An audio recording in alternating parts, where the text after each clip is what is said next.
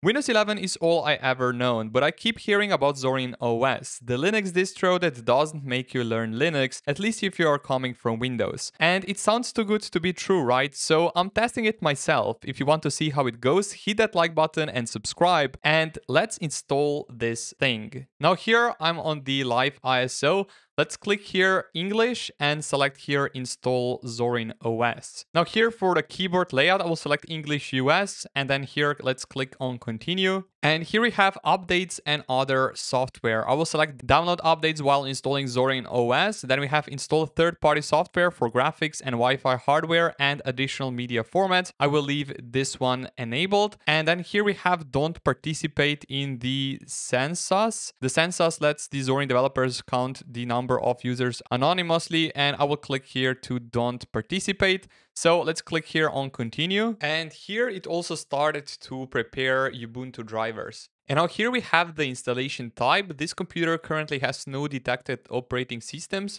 What would you like to do? Erase disk and install Zorin OS. And now we can also go here and click on install now. And then here I'm going to type in London and select here London, England, United Kingdom. And let's click here on continue. And here for my name, I will enter tech enthusiast. And here I will change require my password to log in to log in automatically. And now for a password, I will just type in here zero and let's click here continue. And right now it started to install Zorin OS.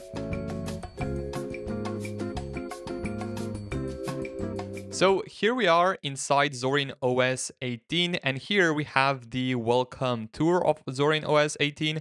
I will click here on no thanks. On the first glance, it looks super similar to Windows 11, but also looks very similar to the Chrome OS as well. Now let's go here to this Zorin logo in the bottom left corner. And here we have this start menu, which is inspired by Windows 11, of course. And here we have the applications. And then if I click here on all applications, we have all of the apps right here. Now let's go here on the bottom right corner where the Windows 11 has Windows system tray. But here we have this and you can see here that these are pretty much the desktops and they look quite nice to be honest. And then if I click here, we will open this menu. This menu looks really inspired by the Chrome OS. And here we have the screenshot tool. So we can take a screenshot, for example, just like this. And then here we have the internet, we have the power mode options, dark styles. So this is the dark style on Zorin OS 18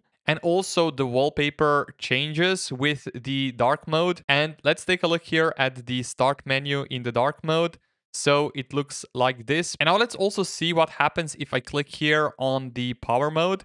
So if I click here, we have the power saver mode enabled. And if I disable it, we have the balanced mode enabled. And we can also change the volume right here. We can lock the computer and we can also shut down it from here. Now, if I click on this clock here and also the date, we have this really slick widget for the date and also the notifications. And down below, we can also enable do not disturb mode. Now, I do like this way more compared to the Windows 11. It looks way more nicer UI than the Windows 11 one. And now let's also try to customize here Zorin OS. Now, one thing which I would like to check first if it correctly detected here the graphic driver and if our desktop is in the right resolutions. If we go here to the display settings, we have here the resolution of 1920 by 1080, which is correct. Also, the refresh rate is set to 60, which is also correct. Now, the settings here look quite nice. On top, we have the network settings, then we have the Bluetooth, displays, we have sound, and also the power, where I guess we can switch from different power modes. So we can see balance and power saver. Then we have the multitasking and also the appearance. Now, to configure here Zorin 18 even further, we have an app called Zorin Appearance. And we can click this to open the Appearance app. And here we have a different options to customize the Zorin appearance. But first, let's here change to one really cool wallpaper because here I see that Zorin OS indeed does have some really cool wallpapers. For example, let's go with this one right here. Now, this one already looks pretty cool. And now let's go here to the Zorin Appearance app to customize it even further. So here we have the layout options and this is set by default. And if I click here on this one, it will make here the taskbar a little bit smaller. And now if I click here on the start menu, we have the same size of the start menu, but we can also try this one right here. Now, this one looks pretty cool. Here we have the icons in the middle of the taskbar and here on the left we have this button to show all of the applications on the computer and it shows here in this really cool app grid. As you can see we have a lot of the apps installed on Zorin OS and then on top here we have these different desktops as well. Now let's try this last one as well. It's inspired by Fedora or GNOME and uh, this one should have this really nice dock at the bottom. So now when I click on the Windows key, it opens here this desktop and here on the right we have another one. And down below here we have this really cool dock which looks super clean. Now let's go back here to the Zorin Appearance app and down below here we can also get more desktop layouts by upgrading to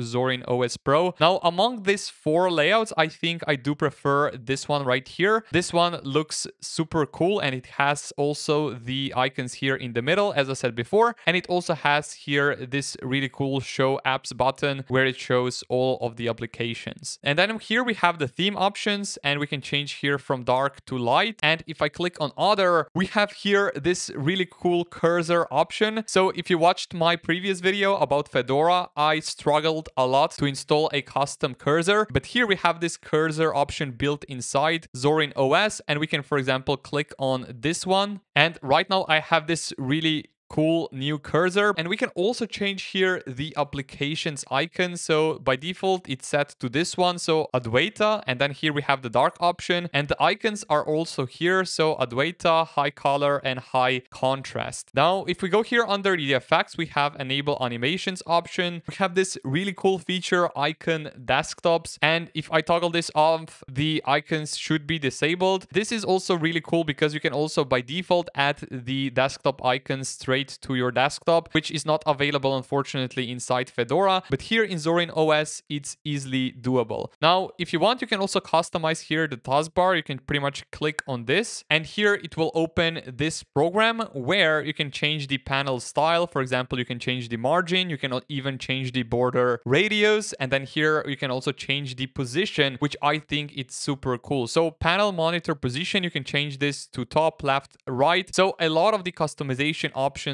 are actually built inside here Zorin OS, definitely more than in Fedora and also Windows 11. Now, default browser on this distro is Brave browser, and you can see it here in the taskbar. And now let's also try to add some of the icons to my desktop. So if I go here to all apps, we can, for example, right click here on the settings, and here we have this option add to desktop. So let's see what will happen here if I go back to the desktop and here we have this icon. It's much easier to do this than Fedora, for example, where I needed to install some of the extensions and third-party programs to actually be able to add some of the applications on my desktop. This is pretty cool. And now let's also see if we can install some third-party software without a hassle. So if I go here, for example, to this software application, we have this app where we can install pretty much a lot of the applications, but let's try to install Firefox Firefox on this distro. So if I go here on this loop, we can search for Firefox. And here we have the Firefox browser, fast, private, safe web browser. Let's click here on it